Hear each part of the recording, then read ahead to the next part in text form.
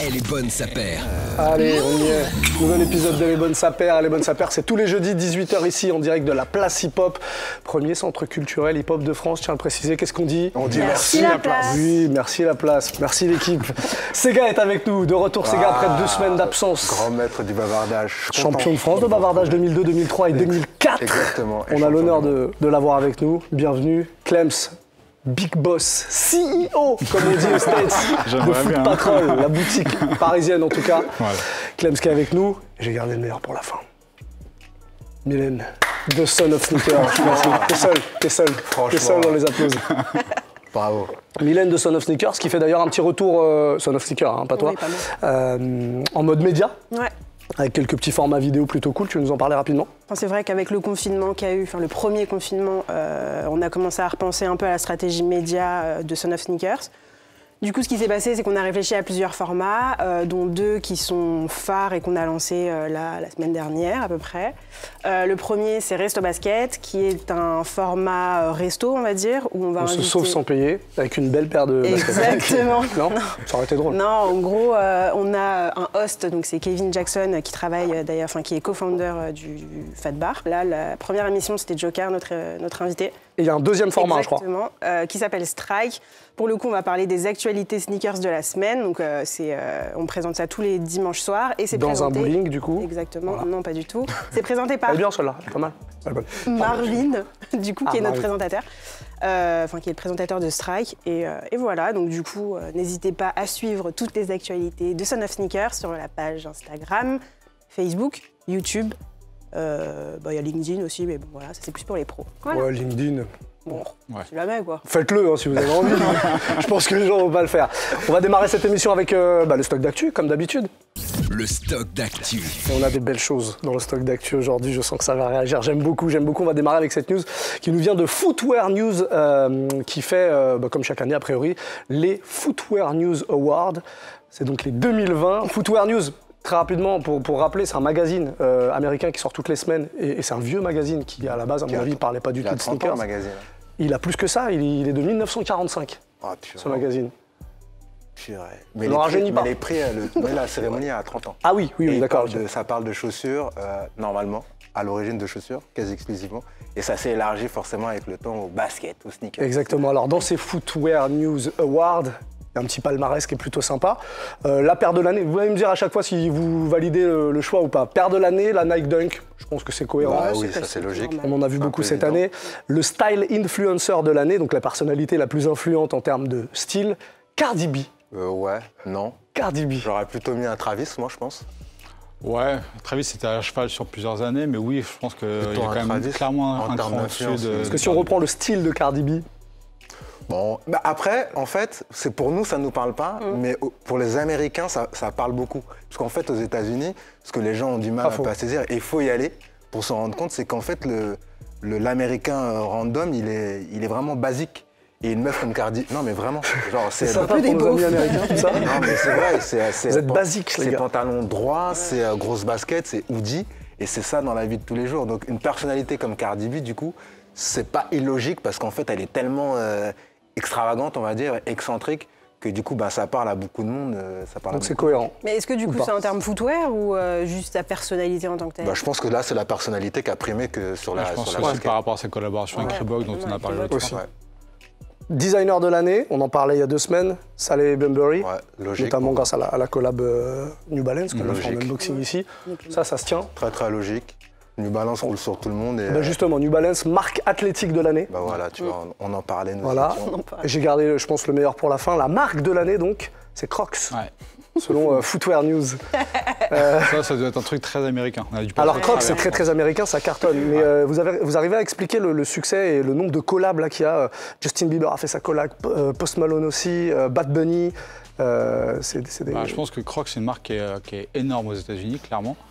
Et ils essayent d'avoir une, une cible un peu différente, justement, en cherchant de l'influence. Et ils vont s'a- s'attacher aux gens qui sont les plus influents aujourd'hui. Et visiblement, ça a l'air de marcher. Donc, euh, c'est bien joué. Deuxième news, Travis Scott, euh, PlayStation 5 et Nike pour une Dunk Low. Grosse collaboration pour Travis qui n'arrête pas.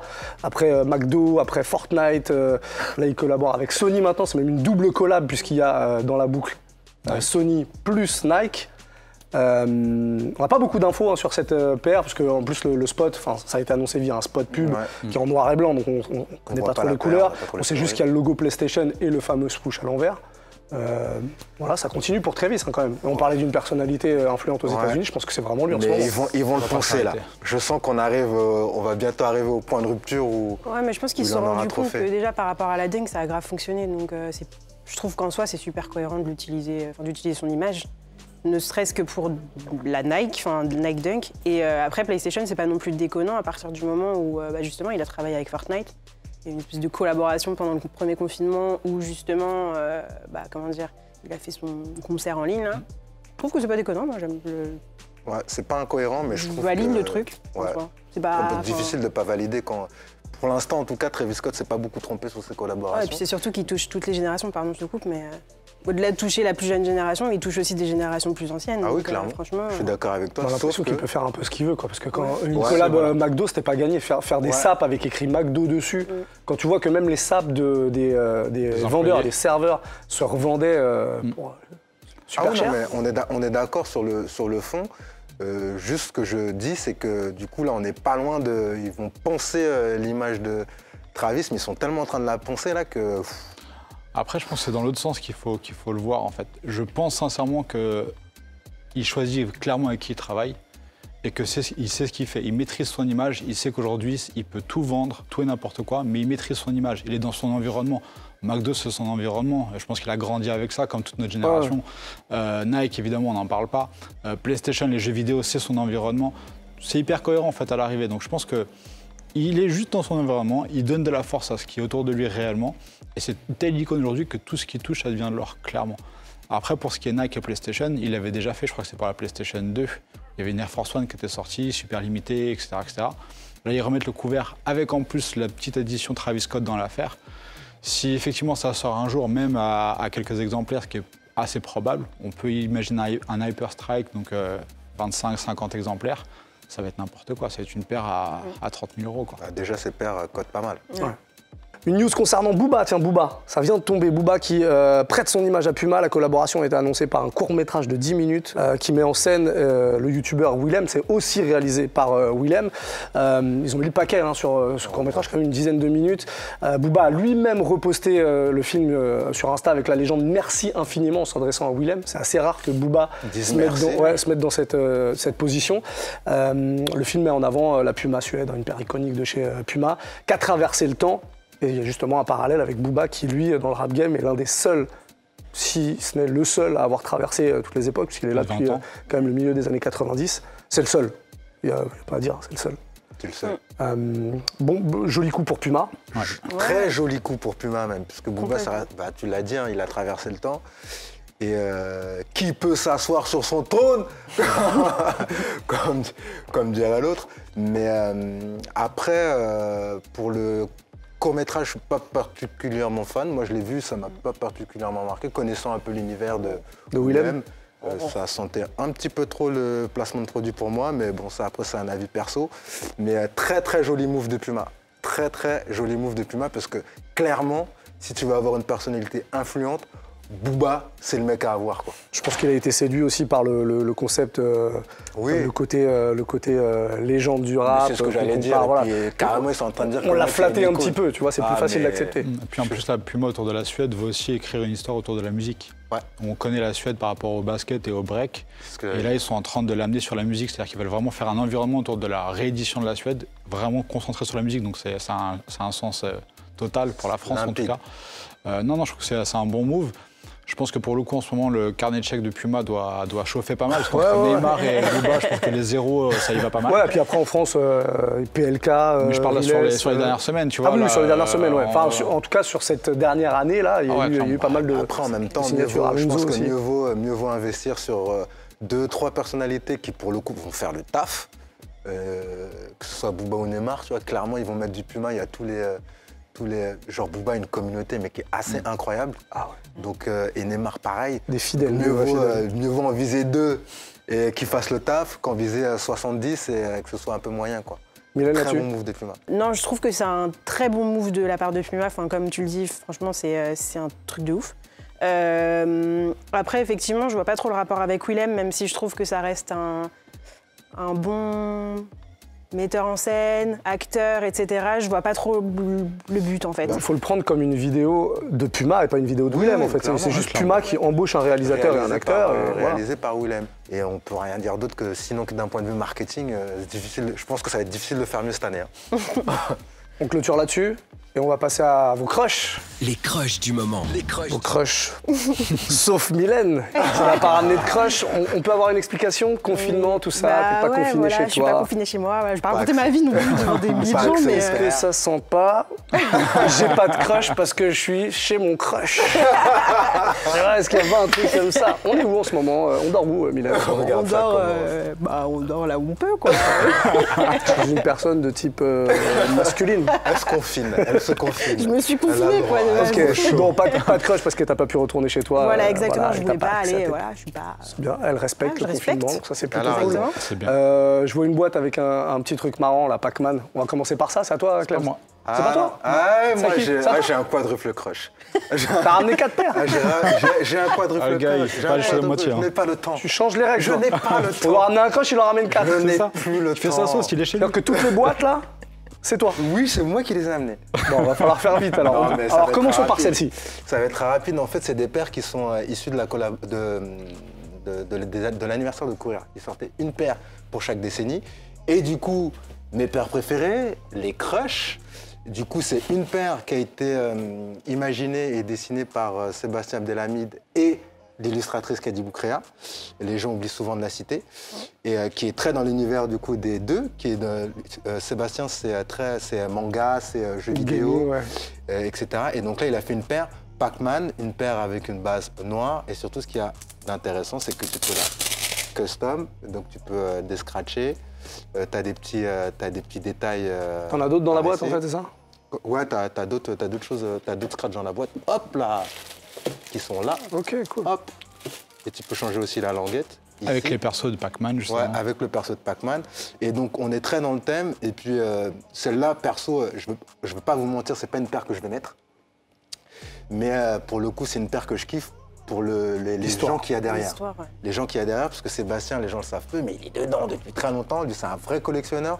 La première fois que j'ai collectionné, on a parlé d'Air Max. Mon gars, je pense qu'il m'a complètement largué.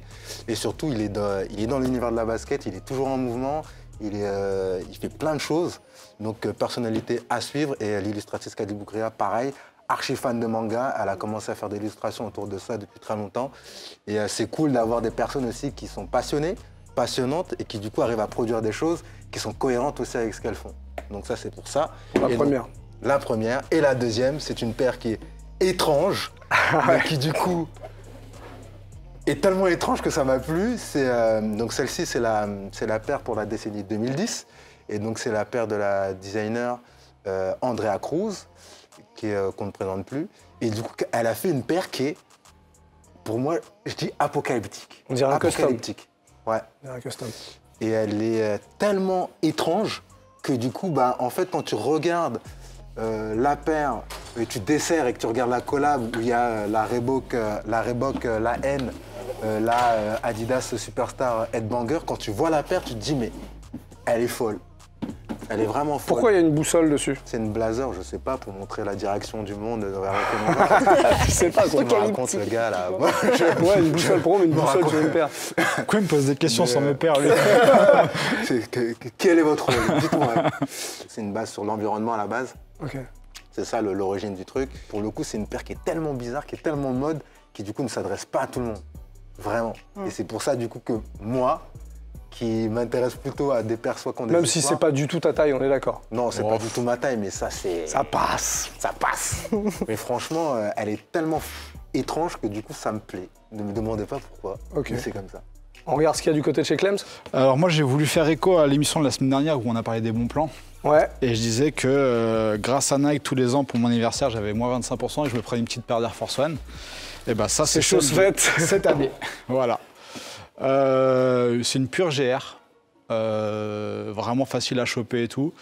Mais c'est vraiment mon crush du moment. Je trouve que le coloris est extraordinaire. Après, base blanche, semelle en gomme sur une Air Force One, tu peux pas te tromper. Enfin, c'est compliqué. Et là, les petits accents euh, bleus avec le, contour du euh, un peu plus néon, un peu plus vert fluo, etc. Cuir blanc légèrement grainé, un petit détail en, en cuir, en cuir verni à l'arrière et tout. Coloris super simple, super efficace, mais alors gros coup de cœur. Et pourtant, c'est qu'une GR. Et euh, voilà, Encore dispo du coup? alors pour le coup, elle a commencé à bien marcher un peu sur le tard, Euh, mais je pense que oui, c'est encore trouvable euh, tranquillement. Ouais, ouais. Là, elle est arrivée il y a quelques semaines déjà. Bon, j'attends, je pense que j'attends l'été prochain pour la sortir. Ok. Voilà. De toute façon, tu pourras pas, là, on est confiné. Je peux sortir chez moi. Pour venir tourner. Chausson. Chaussons. C'est pas trop chausson, on est plus sur des chaussons. est sur ce que plus t'as- sur des Si tu chaussons, veux bien lever ton, ton pied quand même, Un peu là. là on est sur du chausson. On Ouais. est complètement sur du chausson, c'est la presto acronyme. ouais. euh, voilà. On va passer à la déballe si vous le voulez bien. La déballe. Déballe acrobatique, comme d'habitude. Regardez-moi ça. On va faire un petit jeu, tiens, avant d'ouvrir. Dans euh, ce sac, il y a une paire d'une marque dont on n'a jamais parlé.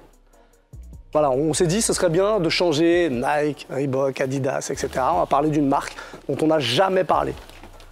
Il y en a Une marque pourtant qui a eu son petit succès à un moment. Et laisse. Ferme-la. J'ai entendu ce que j'ai dit. On a une idée ou pas? Non, franchement, on a une idée sans, sans se laisser influencer par ces gars. Non, j'aurais dit Diadora, moi, dans l'idée. Diadora, on est un peu dans le même délire finalement. euh. Ouais. Moi, je vois, je vois un LS, là. Je vois, Rien du tout. je vois un LS. Mylène, on ouvre.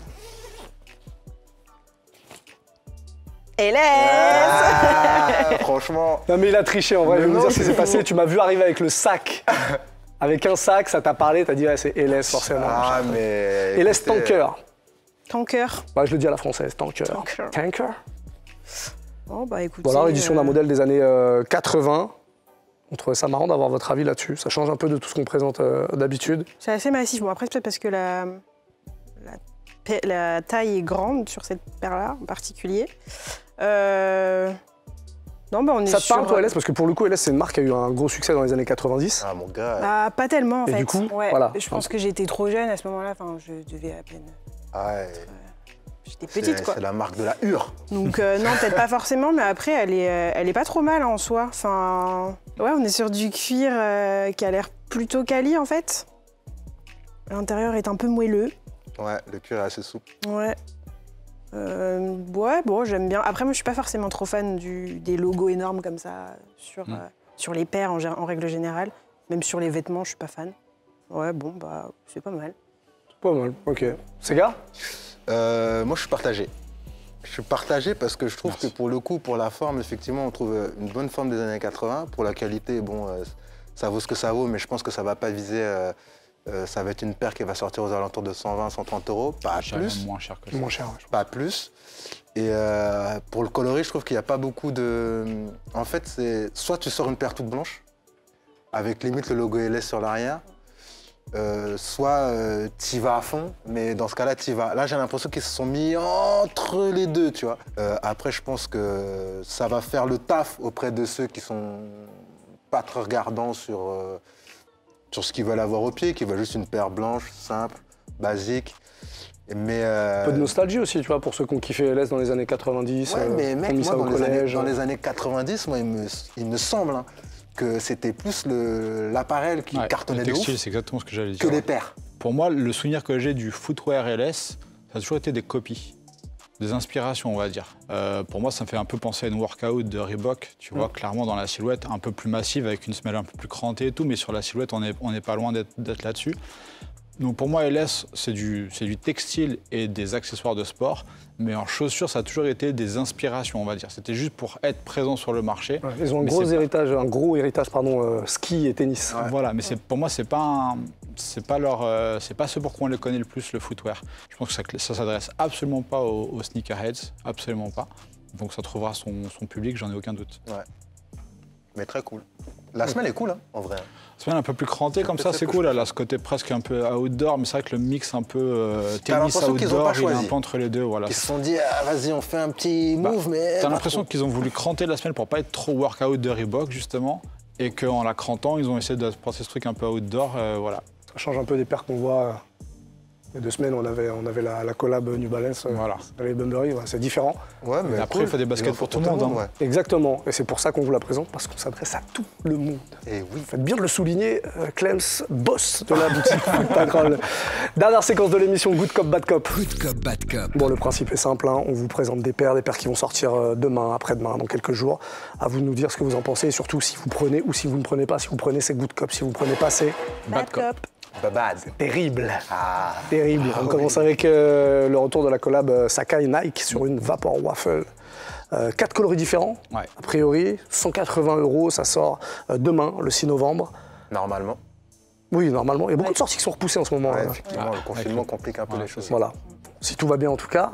Mylène, on va commencer avec toi. Non, euh, on est sur un raccord classique entre euh, Sakai et, euh, et, euh, et Nike, je trouve, avec euh, la déstructuration des paires. On est encore sur du doublage de languettes, de semelles, Du doublage de tout. du doublage de tout, de souches. De... Moi, je trouve pas ça forcément déconnant. On est sur des coloris qui sont attractifs. Euh, moi, je pense que ma préférée, ce serait plus la Burgundy, euh, si je devais en choisir une. Euh, ça reste un good cop. Sega. Ça, c'est des paires, c'est pour moi. ça, c'est des. Ça me rend ouf. Je. En fait, ce que j'aime. Après, je suis Sakai depuis très longtemps, donc ça, ça, ça fausse, on va dire, un peu le jugement. Euh, on sent que. Il y a vraiment eu une volonté de sortir la paire de. de- je pense qu'elle veut même plus faire des paires de basket. On n'est pas loin de- de- d'une œuvre d'art. Bah, vous voyez, on est un peu dans cet esprit-là. C'est bizarre. Ouf. Loin, là. La- non, mais la paire de la Sakai. C'est euh, quand même beaucoup plus soft. De quoi? Celle-ci? Celle-ci est plus Non, soft pas- que la non. Sakai, je trouve. Ah Ah non, gars, Ah non. double semelle, double swoosh. euh, Ah ouais, mais non. euh, S'il te plaît, quoi. Mais les couleurs, T'as déjà vu des gens porter des doubles semelles dans la rue, toi? Oui. Des triples même. On appelle ça une triple S et ça coûte 900 euros, bang. Mais, euh, mais euh, non, mais on est, là, on sent pour le coup vraiment la patte du designer dans la, dans, dans la création de la paire. Pour moi, c'est un goût de cop, mais parce que euh, déjà, j'ai la Waffle Racer et que je trouve que c'est une bonne réinterprétation. Non, mais Tu vois, je la- je me la pète pas, tu pourras la trouver en Black Friday à moins de 50 euros, je suis sûr. Mais, mais euh, du coup, on est vraiment dans une réinterprétation d'un classique, du coup, d'une paire. Et là, on sent vraiment la patte d'un designer dans la création d'une paire. Ce qui est pas vraiment le cas dans, dans, dans Toutes les collabs, on dit souvent, euh, et toi le premier, s'il n'y a pas vraiment d'histoire et si on sent que c'est un peu fake. Ouais, et là, on est vraiment dans. On en sent vraiment la patte du designer. Donc pour moi, Good Clop. Good, Good Cop, Clop. Du feu. Cop. Clairement, après, ça va être compliqué de la choper, je pense, parce qu'elle est attendue, je pense. Ouais. Elle va être très hype. Même s'il y en a quatre, ça va être euh, très compliqué. Clem, ça va nous le confirmer, hein, parce qu'on a le professionnel, le boss de Foot Patrol. Après, il y a, comme tu l'as dit, il y a quatre couleurs, mais sur deux drops différents. Là, on Ouais. commence avec la noire, puis la blanche, et plus tard, il y aura les deux autres couleurs, donc la verte et la, et la bordeaux. Euh, typiquement, dans, dans ce qu'avait fait Sakai euh, la première fois, c'est vraiment la suite un peu logique. C'est euh, tout est doublé, avec une base de très classique Nike de fin 70, début 80, avec un côté modernité aussi. Euh, moi, je trouve que le montage est hyper intéressant, que la paire est hyper intéressante. Je vais être franc avec vous, je ne suis pas fan de la première, moi. Et pour le coup, quand j'ai vu les images de celle-ci en premier lieu, je me suis dit, ah, peut-être que je vais avoir une Sakai au pied euh, un de ces jours. Euh, moi, la noire me parle vraiment beaucoup, mais j'avoue que plus je la vois, plus je vois de photos, et, et ça commence déjà à me fatiguer, en fait. J'ai l'impression de l'avoir tellement vu que ça y est, je crois que j'en ai marre. Puis j'ai commencé à avoir des photos portées. Faut savoir la porter quand même, parce que c'est une silhouette qui va être assez bulky, assez particulière, donc ça va pas être simple, simple, simple, simple. Euh, franchement, j'attends de l'avoir dans les mains, j'espère l'avoir dans les mains, et j'espère pouvoir avoir l'occasion de, de- de- de mettre mon pied dedans et de me décider, mais je tends vers le good cop quand même. C'est un good cop général. Ah, ouais, obligatoire. Même un good clop du côté de, de Sega. La suite avec une Adidas Yeezy 700 V3 Saflower. Saflower, on dit Saflower Ouais, Ouais. c'est flower. Euh, 200 balles le 7 novembre. Yeezy. euh, Easy V3. euh, Euh, easy for all, quoi. Ouais, bah déjà, ça, clairement. Après, bon, on- c'est le- c'est l'extension, puis c'est encore plus la paire accessible des Yeezy, parce que c'est la moins chère de toutes. Ouais. Parce qu'il parce qu'il n'y a pas de boost à l'intérieur, c'est aussi pour ça, il faut le rappeler, c'est une semelle en EVA. Apparemment hyper confort, parce que tous ceux qui la portent aussi disent qu'elle est aussi confortable que le reste de la gamme. Euh, après, je crois que c'est le modèle que j'aime le moins chez Yeezy. Qui est le plus particulier aussi. Euh, c'est le plus particulier, mais je trouve que c'est moins réussi. Et là, dans ce coloris-là, en fait, la difficulté, je pense que c'est euh, c'est que euh, euh, la gamme, enfin Kenny West ou Adidas sortent tellement de coloris, mon gars. Ouais, ouais, après, Même c'est moi, bon, c'est quoi, que- c'est que- que que- le que- quatrième, Je suis perdu, j'arrive même plus à me rendre compte. Je- parfois, je fais même pas la différence entre deux modèles qui sont différents, tu vois, quand tu les vois à quelques semaines d'intervalle. Donc, euh, euh, enfin, c'est c'est pour tout le monde. Et puis, euh, en fait, j'en ai tellement vu que je mets un bad cop parce que Attends, parce qu'on n'a on pas eu le verdict, mais si, bien compris que c'était bad cop. j'ai dit bad cop, ouais, clairement là, tu vois. euh, bad cop pour moi, mais parce qu'il y en a tellement, je crois que je suis là, je commence à être perdu un peu avec Easy. Tu veux la revoir, c'est ça? Ouais, je la trouve dégueulasse. voilà. non, elle est affreusement moche. Moi, j'aime. Enfin, après, il y en a qui aiment. hein. Heureusement, il en faut pour tout le monde. Hein. Pas du tout Donc fait c'est pour moi. good cop. hein. Ouais, vraiment. Un bad cop de ouf. Vous, êtes, ouais. vous êtes trop d'accord là. Ouais. Jusqu'ici, c'est pas, c'est pas normal. Good cop euh, général, bad cop général. J'espère que sur la troisième, vous allez vous départager Je un pense qu'il peu. va y avoir de la bagarre. Nike SB Dunk Low Atmos Elephant. Euh, alors, a priori, c'est pas une vraie collab avec le shop euh, Atmos. Absolument pas. Voilà, c'est plus un, un hommage. Oui, Reprise de appuyé. couleur. Euh, 110 euros le 11 novembre. Ça, c'est pour le prix, ça, c'est pour les détails euh, techniques. Euh, qui commence? Les Mylène. Ouais, bah, on est sur une reprise d'un colorway déjà existant sur la Air Max One Atmos euh, qui est sortie en 2017. Ouais, pour Ça, le Air Max Day réédition. 2017. Ouais, mais bon, la dernière en date, c'est la 2017. Euh, en soi, je trouve pas forcément ça déconnant de réutiliser un coloris qui a fonctionné sur une paire qui fonctionne. Tu mélanges le tout. voilà. Bah, Alors pour moi, ça fonctionne. Bah, je sais pas si je l'achèterais. En vrai de vrai, je sais pas si je Il va l'achèterais. falloir savoir. Mais je l'aime bien quand même. ah, ça va être un good cop vendu. Donc c'est un. Laisse-la Elle a le droit de. non mais Le en mec influence les gens. Laisse-la, bordel. c'est un good tu cop, c'est quoi C'est un good cop Il y a maintenant? Il y a quoi? C'est un good cop pour C'est moi. un good cop. Ouais. Pour Mylène. Clems. Ah, Comme elle a dit, ah, ils ont repris un, un- un- un coloris qui est devenu iconique. Dans le monde de la basket, ce coloris jade, euh, blanc, euh, noir avec l'éléphant print, c'est devenu iconique. Tous ceux qui peuvent faire une ID sur n'importe quel modèle avec ces options vont faire la même chose. Donc ça, ça a du sens d'essayer de l'adapter à droite à gauche, même si je trouve ça dommage parce que ça venait d'une collab. Et donc, euh, Mais c'est bizarre, ça, non Un peu de. Ouais. Par rapport à, à Ouais. Atmos. Ouais, je trouve ça un peu bizarre aussi. Après, euh, on sait aussi qu'Atmos a, a souvent signé des paires en, en discret, c'est-à-dire qu'on dit que c'était des paires dessinées par Atmos, mais sans leur nom dessus. Donc peut-être qu'ils ont laissé leur feu vert par rapport à ça. Euh, Bah, là, il y a leur nom, donc euh, j'espère qu'il y a le feu vert quand même. Là, il n'y a pas le nom. hein. C'est juste. Enfin, en tout cas, euh, dans, dans la com, tout le monde dit. euh, Oui, parce ouais. que c'est parce que c'est l'appellation du modèle, enfin du coloris de base, mais je pense qu'il n'y a pas leur nom dans le, dans le- dans le modèle réellement. Euh, Dunk SB vend en poupe de ouf en ce moment, euh, coloris efficace. Par contre, j'ai jamais vu un éléphant print aussi malade. Il a quelque chose qui va pas. Le cet téléphone print, si tu nous l'avais sorti il y a quelques années sur des Jordan, on aurait tous crié au scandale. Il est affreux. Je sais pas ce qui s'est passé, je sais pas où ils ont fait, été chercher Ça- leur matière. Est-ce que tu es en train de dire ça revient Ouais, beaucoup vrai. sur il les réseaux Ça revient dégueulasse. énormément. En fait, c'est plus un éléphant print tellement il est grainé. On dirait que c'est, je sais pas, on dirait un limite un. Un, rhinesso- un rhinocéros, un rhinocéros En sprint. tout cas, il est très vieux le rhinocéros là pour le coup. Franchement, c'est une catastrophe ce print. Et c'est ça qui est dommage. Je trouve que ça vient vraiment gâcher la paire. La paire est jolie, c'est sur une belle silhouette, etc. Mais alors le truc, il vient tout niquer. En fait, le, le- ça, ça nique tout. Donc euh, je dis pas de cop.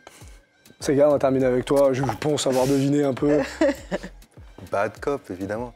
Euh, je suis pas SB et euh, bon, euh, en fait, bah, tu vois, c'est drôle. La paire d'avant, on parlait de designers, de créateurs qui faisaient des efforts pour essayer de faire des choses intéressantes. Lui, il s'est pas fait chier. Donc je vais pas me faire chier, bad.